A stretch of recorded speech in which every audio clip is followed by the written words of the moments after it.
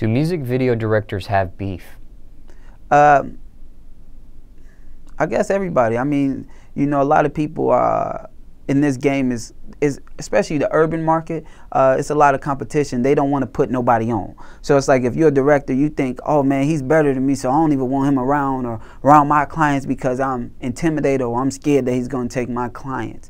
And uh, me personally, I don't feel that way. So I have no beef with nobody. I show respect to everybody. You can have good videos, you can have bad videos. It's just part of the game, and I'm an honest person. So I'll let them know, hey, bro, you could have did that better. And you know, and most of them respect me for that, especially since I'm in a younger generation with it.